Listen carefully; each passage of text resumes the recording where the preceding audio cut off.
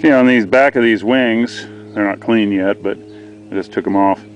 On the back you see there's these rubber grommet doohickeys.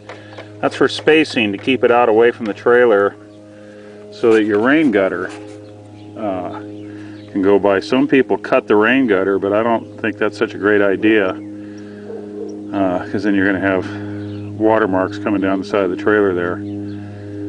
So either use these grommets or make some new ones out of like rubber hose, like fuel line or something like that that's about a half inch with a little hole going through the middle, eighth inch hole for the screws.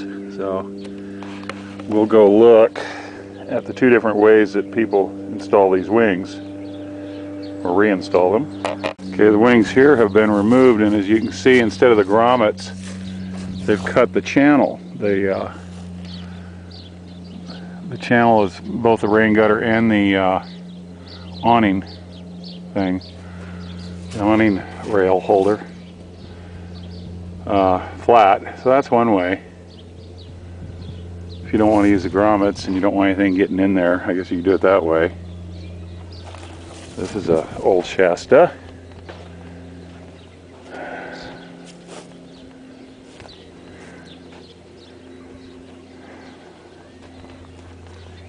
Not sure what year that one is.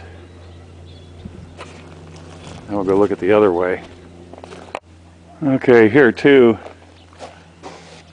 it's been cut. I thought this one was held out like the other one. So, I don't know. Either way, either cut the channel, or it might already be cut, or just use the grommets. Okay, Lisa, there they are.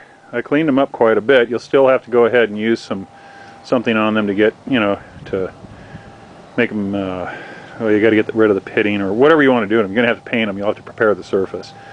But I cleaned them as far as dirt and stuff's concerned, trash that was in the back. And the, uh, they go on with four screws each. And uh, I got the back one upside down. That's because there's a right and a left. At any rate, uh, yeah, and I would take and put some new grommets on the back to spacers to hold it out away from the trailer unless the cut is there in the railing to put it in flush. It's up to you.